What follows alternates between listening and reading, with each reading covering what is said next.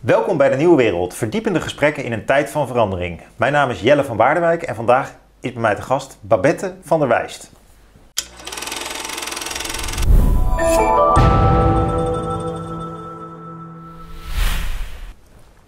Babette, jij bent heel bijzonder bedrijfssjamaan. Klopt. Nou ben Ja. ik zelf ook al een tijd lang bezig met eh, proberen te begrijpen wat zingeving nu is. Wat, eh, wat veel mensen nou bezielt in het leven en waarom spiritualiteit zo hip is. En wat Mhm. het nou voor tradities heeft. En toen kwam ik jou tegen en toen dacht ik van, jij combineert eigenlijk een hele wereldse eh, praktijk. Zeg maar die van consultancy en bedrijven advies geven, met directeuren werken. En die van een sjamaan. En eh, nou, daarom heb ik je uitgenodigd, want ik wil graag weten en meer leren over wat, je- wat dat nou precies is, hè, die, die bedrijfssjamaan. Dus Ja. nou, misschien kan je dat meteen vertellen, want jij bent er een. Ja, ik ben er een sinds vorig jaar. Sinds vorig jaar maart. Oh, het zo Eh, kort pas? Ja, klopt. Ik, eh, het is misschien wel leuk om, te, om eh, als eerste te vertellen. Ik had op 1 maart vorig jaar, voor eh, dat de hele wereld veranderde, had ik al mijn opdrachten afgezegd om mijn nieuwe eh, plan te gaan beginnen, de bedrijfssjamaan. En ik ben dus op 24 maart gestart. Hm. Dus, Heel eh, kort, wat deed je dan? ik, was, ik was bedrijfskundig adviseur. Oké. En zonder dat ik de toevoeging eh, gebruikte van het spirituele stuk. Dat was nog een beetje voor mezelf. Ja. En ehm, zoals dingen soms gaan, dan kan, het, eh, kan je het niet meer voor jezelf houden. En dat kwam dat spirituele, dat werd eigenlijk kwam dat steeds meer bij het bedrijfskundige. Omdat voor mij kan het een niet zonder het ander. Kijk, we zijn ehm, vanuit het shamanisme heb ik in ieder geval het geloof dat alles met elkaar verbonden is. Dus dat ehm, eh, de kosmos en wat wij hier op deze aarde aan het doen zijn, dat dat, eh, dat, dat een, een, een samenspel is van energieën. Hm. Dus ik kon op een gegeven moment ook niet meer mijn bedrijfskundige stuk ehm, loskoppelen van mijn spiritualiteit. Omdat Hm. ik natuurlijk ook in bedrijven zie wat mensen, eh, hoe mensen met elkaar samenwerken, hoe ze eh, met de buitenwereld en met de natuur samenwerken. En ik kon daar op een gegeven moment mijn ogen niet meer voor sluiten. Dus ik dacht, ik ga er wat te doen. En zo is eigenlijk eh, de bedrijfssjamaan eh, Ja. gestart. Want ik heb dus ook eh, wel echt de overtuiging dat op het moment dat we iets met aandacht doen, Ja. ehm, dat, we, ja, dat we beter zijn dan waar we nu mee bezig zijn. Ja, mooi. Jij gebruikt allemaal woorden waar ik ook gewoon nieuwsgierig naar ben. Hè? Bijvoorbeeld Ja. spiritualiteit ook. En Ja. aandacht. Wat is nou, misschien kun je die twee dit nog eens vertellen. Wat is nou eigenlijk spiritualiteit volgens jou? Of hoe zou je dat nou, wat is het nou eigenlijk? Eh, ja, voor mij is het, ik, ik hou dingen altijd heel erg simpel. Misschien dat ik daarom ook zo, ehm, ja, dat, dat bedrijf, bedrijven, daar word ik gewoon heel blij van, omdat ik het heel simpel kan maken. Spiritualiteit is voor mij dat waar ik in geloof. Ja, ja. En dat kunnen allerlei stromingen zijn. Kijk, we zijn natuurlijk een paar honderd jaar dat het allemaal vaste hokken waren en vaste stromingen. Ja. En we zitten, inmiddels zitten we in een tijd dat je in staat bent door alle ehm, informatie die we, waar we eigenlijk toegang toe hebben, kunnen we mixen en matchen. Dus je kan eigenlijk je, je, je spiritualiteit heel individueel maken. Hm. Maar, en, dus, ehm, maar geloof jij bijvoorbeeld ook in, eh, in een geesteswereld? Of in een, in, een, in een wereld die je goddelijk zou kunnen noemen? Eh, of is dat dan, vind je dat dan te ver en te traditioneel gezegd? Ja, eh, met mij kan je alle kanten op. Eh, want er is het goddelijke. De vraag is alleen van waar zit dat? Ja, ja. En ehm, als ehm shamaan denk ik dat wij allemaal, elk levend wezen heeft het goddelijke in zich. Hm. Dus ook elk mens. Nee, ja, ja, alleen ja. we zijn er wel een beetje verwijderd van geraakt. Nou, heel hoop mensen ook niet, toch? Ja, een hele hoop mensen ook niet. Ja. Nou, nou, nou hoorde ik een podcast met jou van Ron van S, mooie, mooie podcast, eh, waarin jij eh, vertelde dat jij een krachtdier hebt. Ik zou zelf bijna zeggen een soort totemdier eh, in de spirituele Mhm. terminologie. Een dier dat jou bijna onder stroom zet en waar, wat echt Ja. over jou zegt. En dat vond ik zo grappig, want dat is een reiger. Ja, klopt. En, Ja. en toen ik dat gehoord had, toen, ik had het maar een heel kort stukje van gehoord, toen, toen dacht ik ook van, hé, een reiger, wat... En, eh, maar ik kreeg het niet uit mijn hoofd. Ik heb de hele dag nog gedacht aan die reiger, eh, omdat het zo'n treffend symbool is. Maar kun je eens vertellen, wat, dat, wat is zo'n krachtdier voor jou? En wel, hoe, hoe kom je er nou bij om je te identificeren met een reiger als moderne bedrijfsadviseur? Ja, ik, ik, ik heb mijn hele leven al dat ik ehm, symbolen zie of dieren. En het, heeft me nooit, het is me nooit echt zo opgevallen. Ik denk tot een jaar of vijf geleden Dat ik dacht van oké, nu zie ik wel heel vaak een reiger.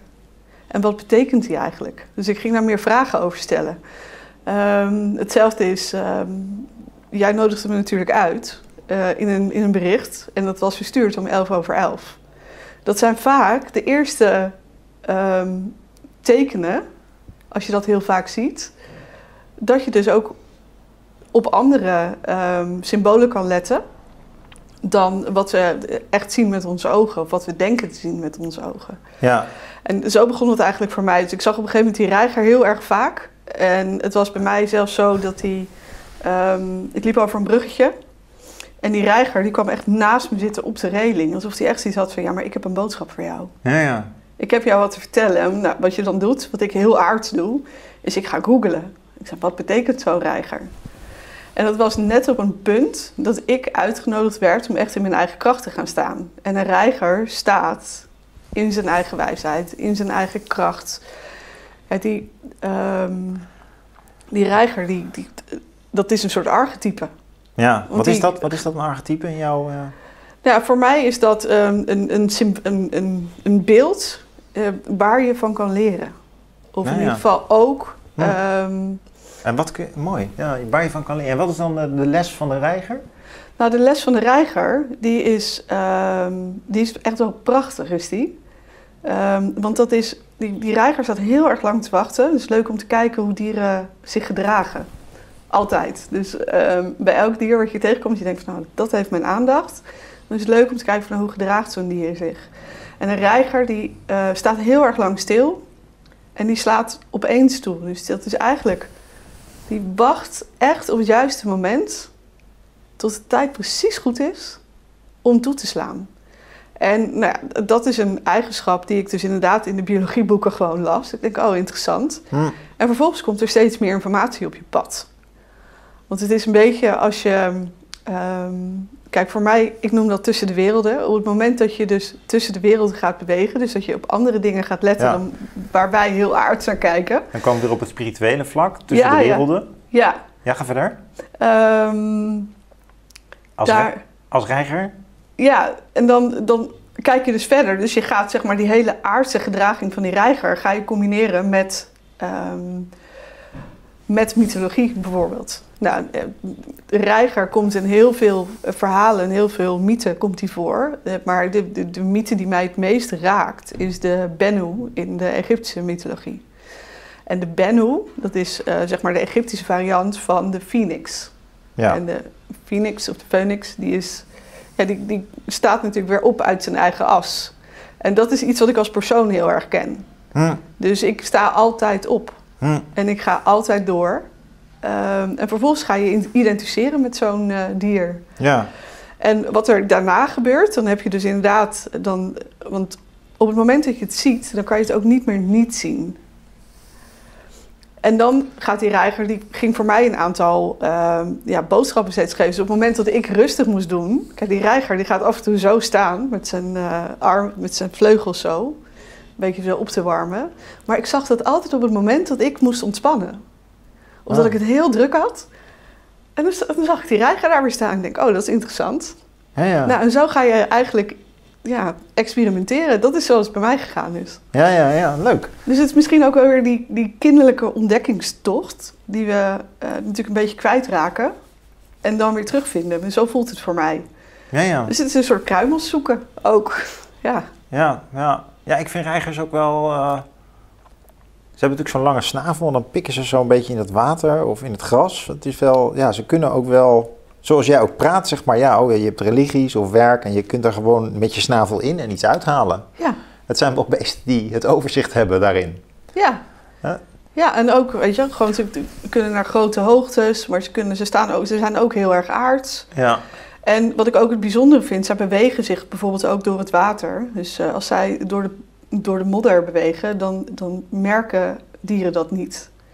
En dat is eigenlijk ook zoals ik een beetje werk. Hmm. Want mensen zien vaak niet dat ik er ben, ze zien niet exact wat ik doe, maar er gebeurt wel wat. Ja. En dat vind ik een hele prettige manier van werken. Ja, ja, ik las op jouw website ook dat jij het onzichtbare zichtbaar probeert te maken. Ja, ja. Wat bedoel, wat bedoel je daarmee? Ja, of, of, of, of het onbewuste bewust. Wel Onbewuste bewust. Ja, dus eh, ik, zal daar, nou, ik kan daar een heel aardsbedrijfskundig eh, voorbeeld eh, voor Nou, heel geven. graag.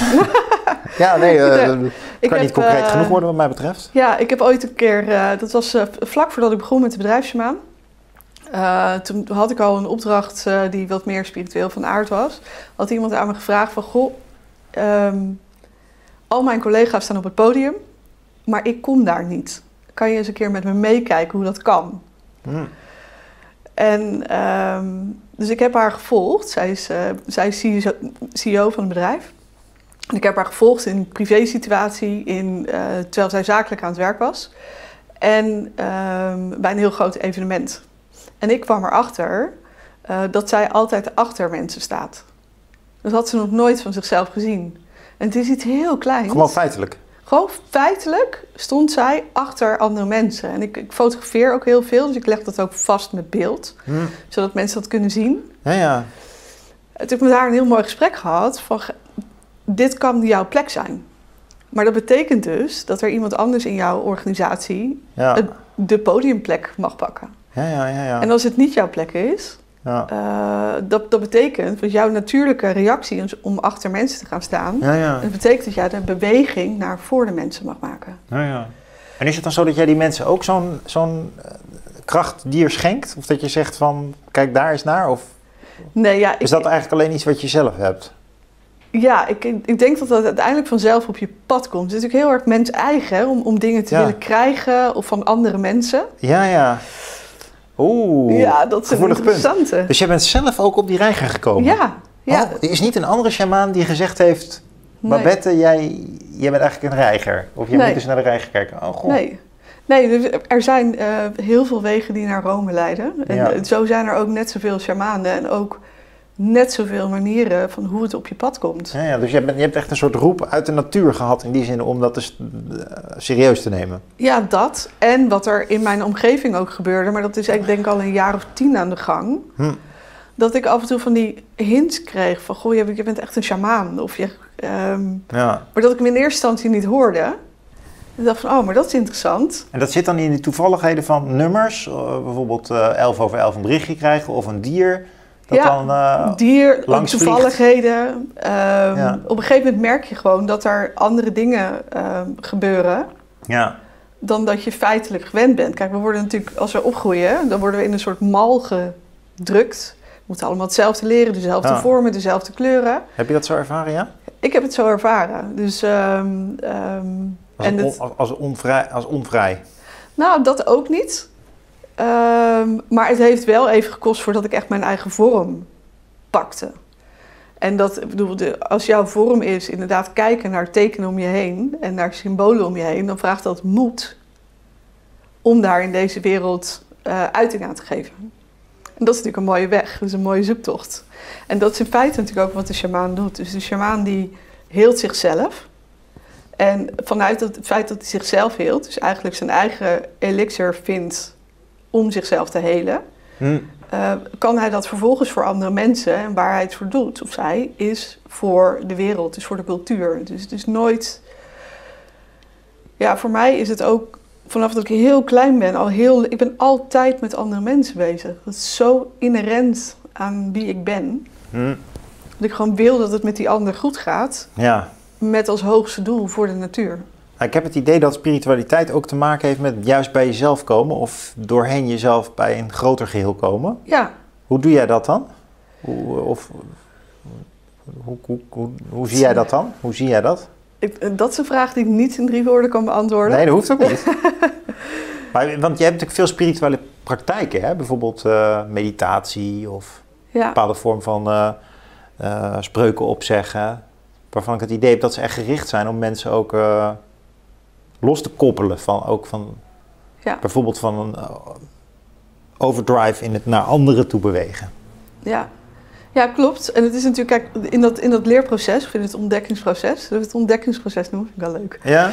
Ehm, je hebt natuurlijk dat je eerst leert van andere mensen. Ik bedoel, het opdoen van wijsheid is een grote eh, kracht in, in spiritualiteit. Want dat geeft je allerlei beelden waarmee jij uiting kan geven aan wat je later ziet. Nou, het is het, het leren van wijs, wijsheden van anderen uit boeken. Vervolgens ga je het zelf doen. En vanuit het doen ga je naar het zijn. Dus dan is het zo van jou dat je dus eigenlijk ook niet meer vast zit in vorm. Ik zit zelf niet vast in vorm. Dus mijn rituelen, uh, daar waar er in andere stromingen misschien hele duidelijke regels zijn over hoe je een ritueel mag uitvoeren, uh, is dat voor mij um, heel vrij, omdat, ik, omdat het zo voor mij is. Dus een ah, ja. ritueel voor mij is in feite iets wat je met aandacht doet. Ja, ja. Dus, maar dan kan koken ook een ritueel zijn? Dat kan. Dat kan, want koken, dat is voeden. Ja. En dus als je daar op een andere manier naar gaat kijken, dan, dan uh, ben je het dus niet aan het doen. Dus het, het feit, maar dan, ja. dan ben je. En wat is dan wel een, een, voorbeeld voor jou van een meer spiritueel ritueel? Is dat dan bijvoorbeeld reigers kijken? Of wat, hoe... Ik ben daar gewoon naar benieuwd. Hoe, hoe, een ritueel dat je echt niet, dat je met aandacht doet, om juist ook dus die verbinding tussen die werelden te krijgen. Nou ja, wat ik elke ochtend doe, is dat het eerste wat ik doe als ik uh, wakker word, is dat ik naar buiten ga en met mijn voeten op de aarde ga staan. Met je blote voeten? Met mijn blote voeten op de aarde. Dan doe ik het hele jaar door. Oh, dat is al tamelijk revolutionair. Ja, maar dat is dus uh, gewoon het feit dat er gewoon zo'n simpele handeling, gewoon door met blote voeten op die aarde te gaan staan, maak ik voor mezelf de connectie. Hm, en dan loop je een rondje? Nou, meestal ga ik gewoon even staan en dan ga ik weer naar binnen. als het heel koud is, dan uh, blijf ik ook niet uh, vijf minuten op het gas staan. En soms blijf ik wat langer staan. Dat is natuurlijk aangenamer in de lente en in de zomer. Hm. Uh, maar dat is mijn kleine ritueel om die connectie te maken. Ah, ja. Dat ik weet van ik ben onderdeel van een groter geheel. En dat is natuurlijk wat we als mens vaak ook vergeten, dat we een onderdeel zijn van een groter geheel. Ja, ja. Nee, dat denk ik ook. En dat kan je dus door zoiets heel simpels. Kun je dat al uh, ja, ja, maar dat vraagt natuurlijk wel een weg daar naartoe. Kijk, dit, dit deed ik tien jaar geleden, deed ik dit niet. Omdat ik met andere dingen bezig was. Ik bedoel, tien jaar geleden kreeg ik, uh, had ik net een, uh, een, een, dochter van één. Dus nu heb je tijd om dat, om dat meer te ontwikkelen? Nou, heb, of dat ik de gereedschappen dus verzameld heb in mijn rugzak ja. Uh, waarmee ik dit nu zo kan doen. Ah, ja. En daar waar het eerst dus echt doen was en mezelf ertoe zetten, ja. ook een ritueel uitvoeren. Maar ik kan nu heel makkelijk een ritueel voor de aarde uitvoeren. Daar hoef ik niet over na te denken. Ja. Okay, maar dat kan bij een mooie boom zijn. Ik bedoel, er staan uh, prachtige bomen in Nederland. Ja. Uh, maar dat kan ook bij de zee zijn. Het is maar net wat er op dat moment ja, nodig is. heeft, het, heeft het negatieve daar ook een rol in? Want ik vind het allemaal zo hoe je dat precies? Nou, bijvoorbeeld uh, een mooie boom. Ja, er zijn heel veel mooie bomen in Nederland. Ja, daar heb ik ook wel eens uh, langs gelopen dat ik hem stil bij gestaan en met aandacht, zeg maar. Dus, uh, maar bijvoorbeeld bij iets meer pijnlijks of zo, hè? Kan, dat, kan dat er ook een rol in spelen?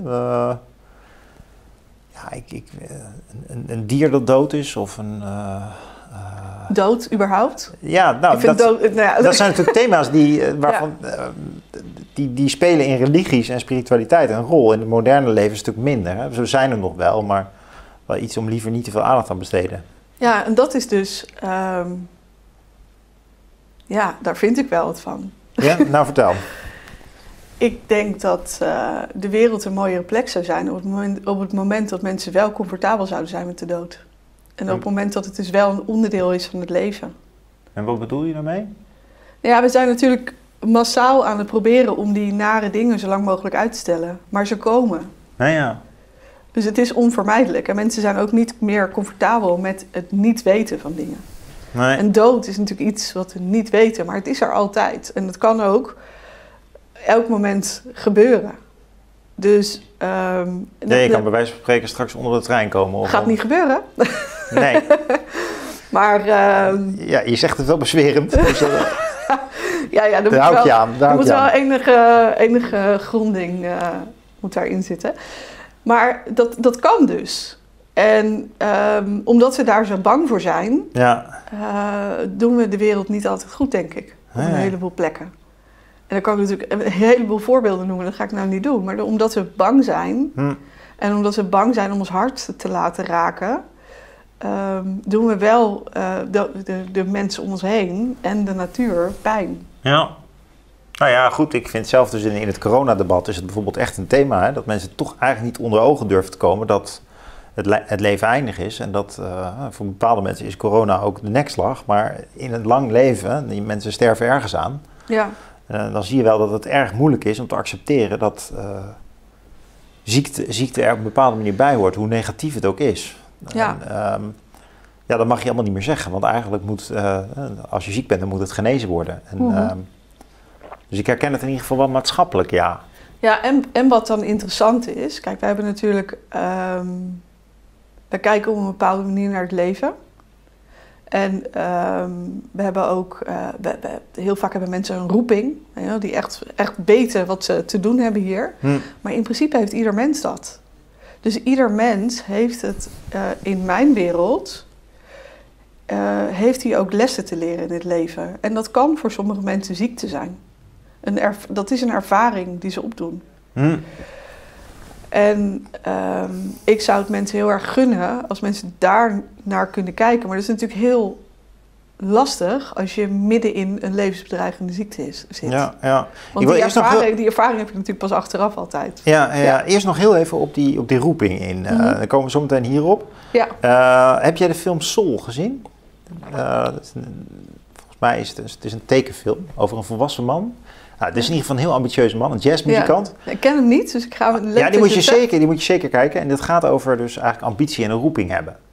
Ja. En die, die leert in de film, hè, die, die protagonist van de film, uh, de jazzmuzikant, die leert eigenlijk dat, het, dat er meer is in het leven dan alleen maar je roeping volgen. Ja. En grappig genoeg leert hij dat van een ander wezen dat juist probeert aandacht te hebben voor de kleine dingen. Nu, uh, je moet die film zeker gaan kijken, want dit is, dit, is, dit is weliswaar een deel van het plot, maar er zitten allerlei uh, wendingen in nog die het heel spannend maken. Ja. En toen ik die film zag, dacht ik wel van ja, uh, moet iedereen ook zo'n intrinsieke motivatie hebben en er om een roeping te vinden of een roeping tot vervulling te brengen? Is dat niet, uh, want jij zei dat net even, hè, van is dat niet ook toch ook alweer onderdeel van een cult die veel mensen in de weg zit? Hè? Terwijl dat aandachtige of meer zo je wil, spirituele leven ook wel te maken heeft met uh, geduld en tevredenheid. En, en uh, ja, dus, dus, dingen die niet te maken hebben met geroepen voelen om iets heel bijzonders te doen. Ja, maar dat kan. Dat kan. Er zijn mensen die hier zijn om gewoon te zijn. Ja.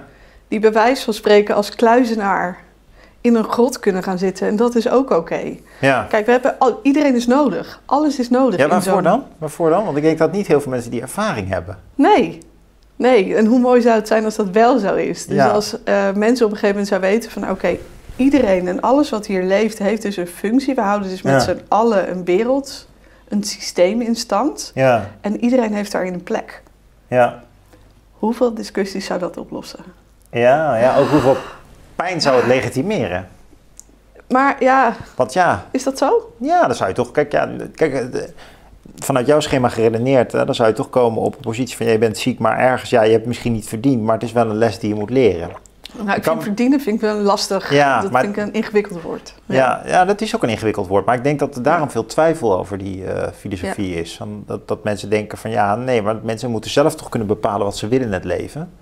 En die, die tegenstand die ze tegenkomen in het leven toch vooral zien als obstakels. En het is ook lastig om te accepteren dat dat levenslessen zijn. Zeker Ja. als je dan eigenlijk nog stiekem nog erbij smokkelt dat het ook misschien in dit leven een les is. Eh, ja, ja, die, die, die smokkelde ik er inderdaad wel bij. Want ik, eh, dus dat je zegt van ja, er zijn misschien meerdere levens. En eh, je hebt nu hier op deze aarde iets te leren. En dat, ja, dat is toch een heftige gedachte. Ook omdat eh, het op een bepaalde manier goed praat hoe de verhoudingen nu zijn. Ik, ik bedoel, ik vind ook, ik snap, ik, ik snap dat je erop komt. Daar gaat het niet om. Eh, ja. Maar, maar- en wat is het eigenlijk inderdaad zo dat je in een soort reïncarnatie gelooft? Of dat je denkt van daar zit wat in? Nou, waar dat voor mij vandaan komt, is. Ik heb er zelf geen bewijs voor. Maar ik weet wel van mezelf dat ik dingen weet die ik in dit leven niet geleerd heb. Kun je een klein voorbeeldje geven dan? Nou, ik heb, ik heb al vanaf dat ik heel klein ben bepaalde eh, kennis over de natuur. Hm. Die ik nog niet wist als klein, maar die voor mij zo gewoon was. Maar die ook verder niet uit mijn familie komt. Want die waren met hele andere dingen bezig. Ja, ja. Dus dat is bijzonder. En zo eh, merk ik ook bij bijvoorbeeld kinderen op, eh, op school bij mijn kinderen. ja. Dat daar ook een aantal kinderen tussen zitten die bepaalde kennis hebben of zich op een bepaalde manier gedragen. Dat ik denk van. Dat heb je ergens anders vandaan. Even los van wat voor vorm dat heeft. Hè? Dus als, als reïncarnatie lastig is. ja. Ehm, en, en daarbij heb ik dus zelf ook de ervaring dat er een scheiding zit tussen een lichaam en een ziel. En, en, en, en hoe zou je die ziel verder, hoe zou je dat willen aankleden? Wat, wat, kun je dat schetsen? Ik heb geen idee. Ik ben op, ik ben op ontdekkingsreis hoe dat, Ah, ja. eh, hoe dat maar die reiger bijvoorbeeld van jou, die resoneert met jouw ziel? Ja, Oh, Ja. Nou, ik wil nu ook omwille van de tijd naar, eh, naar de, de bedrijfswereld. Want jij Ja. bent dus bedrijfssjamaan. En jij gaat dus met dit hele pakket aan levensoriëntatie ook bedrijven bezoeken. ja. En ik ben benieuwd hoe dat er dan uitziet. Nou ja, ik ben dus op dit moment, eh, eh, dat was dus het afgelopen jaar kwam er tussendoor. Dus ik heb nog weinig eh, bedrijven bezocht. Maar de bedrijven zijn wel naar mij gekomen. Dus ik heb, eh, wat ik uiteindelijk heb gedaan, na, ik denk het was drie maanden gestart met mijn bedrijfsmaan. Toen heb ik een jaarprogramma gecreëerd voor directeurs en eh, CEO's. Waarmee ik ze door het eh, Keltische jaarwiel eh, meeneem. Hm. En het uh, Keltische jaarwiel, de Kelten, die hebben elke zes weken een seizoensfeest. Het nieuw jaar begint met eh Samhain, dat is Halloween ook wel, eind oktober. En ehm, ik ben zelf, ehm, daar hebben we het nog niet over gehad, maar het is misschien wel leuk om even te vertellen. Ehm, ik ben zelf, eh, mijn shamanisme is gebaseerd op het Keltische shamanisme. Hm. Je hebt natuurlijk heel veel mensen die het kennen vanuit Zuid-Amerika of vanuit Siberië of Mongolië. Maar ik heb er heel bewust voor gekozen om dat van mijn eigen klei te laten zijn. Dus dat het mijn eigen planten zijn, mijn eigen dieren, de reiger. Ehm, en dus ook het, het Keltische eh, mythologie en hoe zij leefde en werkte. Zij werkte heel dicht en heel nauw samen met de natuur. Hm. Dus ik ben op dit moment ben ik met zes CEO's en directeuren eh, begonnen. Ehm, het was heel bijzonder dat er al zoveel animo over was. En twee van die mensen die doen dit programma naast een, een traditioneel leiderschapsprogramma. En dat is heel bijzonder. Ja, Want eh, wat zij aan mij aangeven is, van jij geeft, zeg maar, zij gaan heel ver. En we krijgen heel ver de informatie. En jij maakt het af.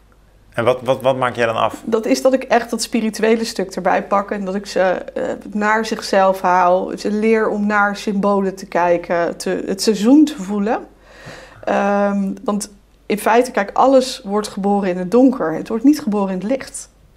Dus het is ook eh, zinnig dat wij als mens ehm, comfortabel zijn in het donker. Want daar ontstaan ook de mooie ideeën, de nieuwe projecten. De... Je bent een avondmens. Nee, ik ben een ochtendmens. Oh, echt? Ja.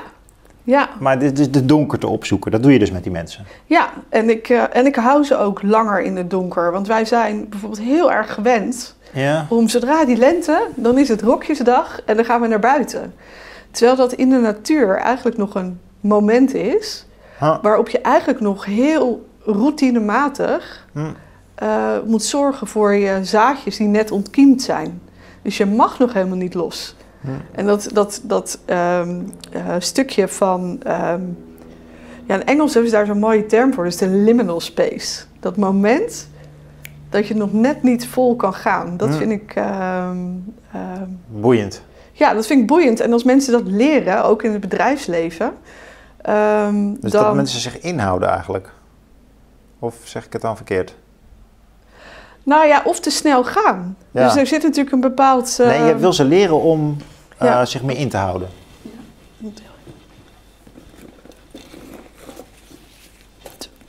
Je bent even je neus aan het poetsen. Ja, sorry. Ja, dat was even. Ehm, ja, dus, dus wat we doen, we, we worden opgevoed dat we continu in de actie moeten zijn. We continu manifesteren. Ja. Maar dat is niet zoals creatie werkt.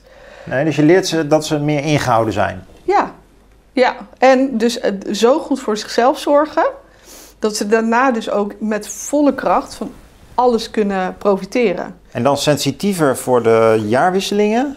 Dus eh, toch? Voor het seizoen, zei je? Ja, dus je hebt Hoort daar elke, ook bij. elke zes weken is er dus een, ehm, een, een, een Keltisch jaarfeest. De- in mijn programma is dat een bijeenkomst. En dat vier jij met hen. Ja, en er is altijd vuur bij, er zijn altijd alle elementen bij, dat is buiten. Ja. En eigenlijk halen we zo ook de natuur weer terug die organisaties in. Ja, ja. En, eh, en dat is heel mooi. En omdat mensen het gewoon niet gewend zijn om op deze manier bijvoorbeeld naar projecten te kijken. Nee, want dat vind ik dan wel interessant. Want dit is nu eigenlijk de spiritualiteit over de schutting gooien bij bedrijven. Wat eh, lijkt me interessant. Hè? Je moet soms ook dingen met elkaar doen Ja, om even eh, weer aan elkaar te wennen en weer productief te worden. Maar hoe, ja. draait dat dan vast in bedrijfsprojecten? Of waar, waar, is de, waar is de brug dan daar naartoe? Nou ja, kijk, omdat ik natuurlijk met die, met die CEO's en die directeuren werk, kunnen zij dat vervolgens via hun MT de organisatie in. Ik, ik geloof heilig dat het is follow the pace of the leader bij heel veel mensen. Dus dat is het liefst werk ik inderdaad ook met CEO's, directeuren op dit moment. Dat kan natuurlijk in de toekomst veranderen, want ik ben net zo organisch als mijn, uh, als mijn shamanisme. Ja. Um, maar zij gaan ermee aan de slag en ze, ze gaan anders kijken. Hmm. En dat is natuurlijk hetzelfde, het voorbeeld wat ik net aangaf. Dat iemand niet ziet dat, dat, eh, dat ze continu achter iemand staat. Zo zien vaak mensen ook de meest simpele oplossingen niet. En net zoals nu in corona merk je ook dat mensen zeggen van ja, we raken uit contact. Omdat we elkaar fysiek niet meer zien. Ik heb geen contact meer met mijn MT, hoe los ik dat op? En dan stel ik de simpele vraag, waar ben je het liefst? Ja, en dan zegt die persoon dus buiten. En dan kop ik hem alleen maar in. Dan zeg ik van nou, waarom nemen ze niet mee naar buiten? Ja, oh ja. Dus er zijn kleine dingen waar jij dan... Het zijn hele kleine dingen. En daar heb ik, daar heb ik wat dat betreft... Um... Kijk, hoe ga ik dit... Uh... Dat doe ik dus al mijn hele leven. Eerst als bedrijfsadviseur, maar nu als ja. shamaan. En het verschil is dan... Ja, dat ik ook echt de natuur erbij pak. Dus ja, want dat, uh... ergens is een consultant ook een soort moderne shamaan, hè? Ah, die werkt alleen dan met cijferreeksen en een SWOT-analyse. En ja, dat kan ik ook. Eens... Dat, kan ik ook, want het medicijnwiel werkt natuurlijk in principe ook zo. En dan ga je naar het stukje energie. Ja. Wat doe je in energie? Ben jij als consultant uh, je geld aan het verdienen? Of ben je je geld aan het verdienen, plus doe je nog wat extra's? Hm. En dat is, wat, dat is mijn uitdaging, in ieder geval voor het bedrijfsleven. Uh, dat we wat extra's mogen doen. Dus dat we um, ook integer mogen zijn in de kennis die we geven. Dus dat het niet meer een trucje is die mensen komen uitvoeren in, het bedrijfsleven. Hmm. Uh, maar dat het echt verandering op. Heb je dat veel meegemaakt in jouw geschiedenis in het bedrijfsleven? Dat mensen trucjes aan elkaar verkopen? Mm Ja. Heb je het idee dat er, veel, uh, dat er weinig integriteit bestaat in het bedrijfsleven? Nou, ik denk dat het er wel is, maar dat het vaak door het systeem waar we met z'n allen in zitten, een beetje onmogelijk wordt gemaakt om daar echt vooruit te komen. Ja, ja. We hebben natuurlijk nu in de, ja, in de politiek wel ook een mooi voorbeeld. Op het moment dat er aangegeven wordt dat er iets niet klopt, dus dan hebben... gaat eigenlijk het systeem tegenwerken. En uh, hoe mooi zou het zijn als dus, dus, we dus wel naar die integriteit durven te luisteren. Dus, dus Mark Rutte draait en liegt en het systeem beschermt hem, want hij is gekozen en we gaan door, bedoel je dat? Ja, dan Terwijl iedereen eigenlijk wel doorheeft van ja, die, die verdraaiing en zo moet dat nou kunnen. En uh, zouden er niet misschien nieuwe verkiezingen moeten komen? En dan blijft het systeem toch doordraaien. Ja, nee, maar iedereen ziet het en iedereen blijft doorgaan. En dat is interessant. Ja, maar ze blijven wel praten over dat het anders moet. Dat ben ik nog een soort slotthema, want er zijn ook door de tijd heen Babette. Maar ja. wat vind je nou van al het gepraat overal? Want, want, ik heb toch het idee dat zeker mensen die, waar jij ook de concurrentie mee aan moet binden, dus adviseurs, ehm, ja, mensen die uh, bedrijven meenemen naar een heidag. Die steken geen vuurtje op vaak, maar er zijn wel overeenkomsten. Hè, die uh, aanzetten tot bezinning. Ja. Uh, dat, dat is allemaal heel veel post-its plakken en, en, met elkaar praten over de strategie. Ken je het beeld wat ik schets? Ja, ja, zeker. Wat, wat zie jij daarvan? Vanuit, vanuit jouw invalshoek. Doe je dat ook? Of... Nou ja, ik, ik, uh, ja, dat kan onderdeel zijn. Ja? Als dat op dat moment nodig is, dan kan dat. Ehm, maar ik, ik, ik, laat mensen ook labyrinten lopen. En ik gebruik ook... Doolhoven? Wat, Ja, nou ja, het, labyrint is inderdaad dat je terugloopt bijvoorbeeld naar je eigen kern en dan weer eruit loopt. Dus in een bos of zo? Of waar, is het, waar gaat het dan? Er zijn een heleboel plekken in Nederland waar je dat kan. Dat is echt eh, veel meer dan dat je nog zou bedenken. Oh, dat zijn uitgezette labyrinthen die je doorloopt? Ja, maar ik kan, er ook zelf, ik kan ze ook zelf maken. Dus op een plek waar dat... En jij gaat dan eh, met mensen die jou inhuren, dus, dus zeg maar die CEO's en directeur, ga je dan door een labyrint lopen? Ja, en dat, en dat begeleid ik. Ja, dat is inderdaad niet praterig, nee. Nee, dus het is vaak ook in, in stilte vinden mensen ook heel erg veel. En wat, ik, wat me net ook toen je begon, met je vraag. Toen kwam ook wat, wat bij mij in me opkomt, is walk your talk. Ik denk dat dat iets is. Weet je, doe wat je zegt, zeg wat je doet. En ehm, dat is wat er vaak mist. Dus mensen kunnen heel erg ehm, mooi vertellen wat ze willen doen en hoe ze het willen doen. Maar puntje bij paaltje Ja. eh, zijn de meeste mensen niet zo moedig om ook echt die verantwoordelijkheid te nemen ja. om het te doen. ja. En dat is wat ik de wereld gun. Dat mensen dat wel gaan doen. Ik herken dat heel erg hoor. Dus die, die, die, die purpose washing. Hè? Dat, eh. Eerst hadden we greenwashing. Dan gaven allerlei banken zich uit als groene ecologische investeerders. En nu hebben we veel bedrijven die dan zeggen... ja, we zijn er echt voor een betere maatschappij. Of voor een diverse maatschappij. Of we zijn typisch Nederlands. Ja, nou dan gaat Dat mijn je, hele... denkt, ja, dat je denkt, nou, dat kun je nooit waarmaken met je oranje leeuw. Nee, dus- en, eh, nou, dat gaat, en dan gaat mijn systeem gaat daarop af. Ja. En denk van, eh, het klopt niet. Ja, en hoe, breng hoe, hoe confronteer je hen dan daarmee? Want er is wel veel... Er zijn wel veel luchtbellen hè, in die wereld. Het is niet alleen maar dat ze zomaar dat willen en zeggen... ik wil het labyrint wel in. Ik heb ook het idee dat mensen toch een soort naïeve zelflegitimatie hebben... in van ja, maar dat doen we toch heel veel. We doen toch heel veel voor de maatschappij. Ja, Confronteer jij ze dan ook wel eens? Zo van ja, is dat nou eigenlijk wel zo? ja. Ja, en ik, ik, ik ga ook op bepaalde plekken wel het gevecht aan. En dat is ehm, ehm, een van de eerste dingen die ik bijvoorbeeld gedaan heb. eh, op, eh, na 24 maart. Ik heb, ik heb mijn bedrijf heb ik geboren laten worden in een ritueel. In, die, in dat ritueel heb ik een, belofte gedaan dat ik in ieder geval een eerste stap zou zetten. Ehm, en dat heb ik gedaan richting natuurorganisaties. Hm. Want natuurorganisaties die zijn wat mij betreft, hebben zij alle kennis en kunde in huis om leidend te zijn in het veranderen wat, van het beeld wat mensen hebben van de natuur. En wat ik toen gedaan heb, is een, eh, ik heb een prachtige brief geschreven aan het Wereld Natuurfonds. Eh, waarin ik ze Ik ben benieuwd. ja, dus, want zij ehm, doen heel veel goeds voor de wereld. Maar er zijn ook een aantal dingen die ze doen die gewoon niet zo goed zijn voor de wereld, maar die zeg maar eh, legitiem worden gemaakt door dat andere stuk. Ja, En één daarvan is, en dat is voor mij best wel een doorn in het oog, en dat is iets wat ik hopelijk eh, in de toekomst gaat veranderen, is dat mensen donateurs geworven worden met eh, gadgets. En in dit geval is het bij het Wereld Natuurfonds zijn dat knuffels. oh ja, En ik ben daar het gesprek over aangegaan. Daar heb ik een prachtig marketingantwoord teruggekregen. oh ja. Dat ze dat in China laten maken. Ja. Dat ze keurig samenwerken met eh, goedgekeurde Ja. partners. Dat ze het allemaal eh, in de gaten houden. dat het heel goed gecontroleerd wordt. En dan gaat mijn systeem af. Dan denk ik van ja, maar je maakt dus, je, je adverteert met een enorm prachtige schildpad. ja, Met plastic in zijn bek. ja.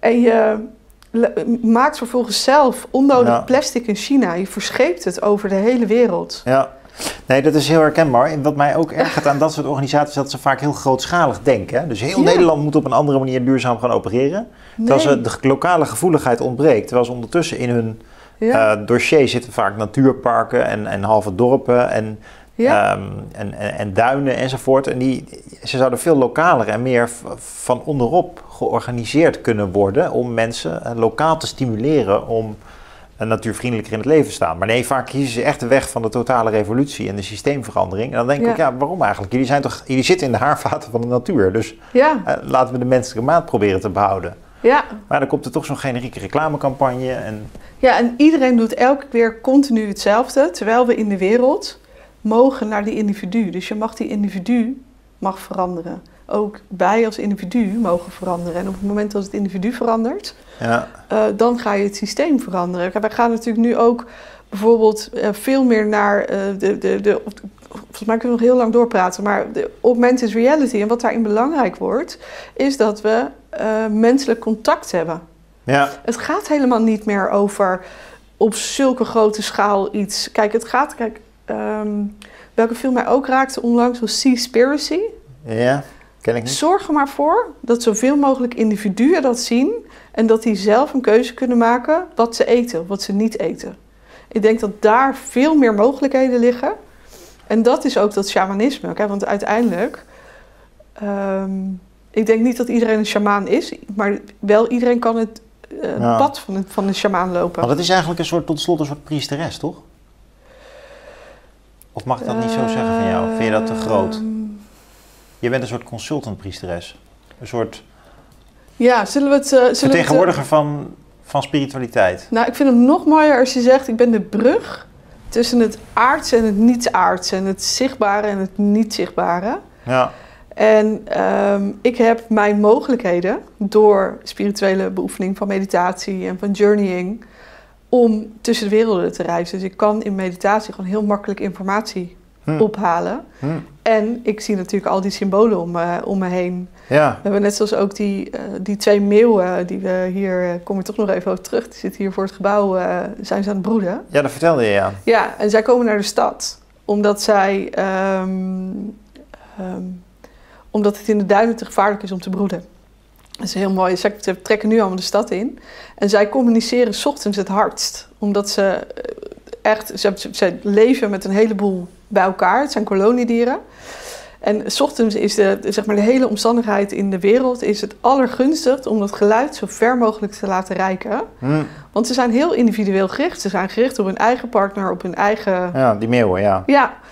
Ehm, en dat is eigenlijk waar wij ook weer eh, naartoe mogen. Want juist in hun eigen individualiteit Ja, zijn zij heel sterk samen. Omdat ze gewoon hun plek ja, hebben en Hm. houden. En dat ook ja. verdedigen. Babette, ik wil je bedanken dat je hier was en kan vertellen over deze dieren, krachtdieren. Jou iets vertellen. En ja, dank voor de inkijk in, jou, in jouw manier van kijken. Ik ben benieuwd wat je dan allemaal voor eh, verschijningen hebt gehad tijdens dit gesprek. Maar dat hoor ik zo meteen als de kijker is uitgelogd. Dus, ja, ja, ja, ja. Leuk dat je hier was. Ja, dankjewel. Dankjewel voor je uitnodiging. Vond je dit ook een interessant gesprek? Abonneer je dan vooral op ons kanaal. Dan krijg je iedere keer als eerste nieuwe gesprekken. Bedankt voor het kijken en tot ziens.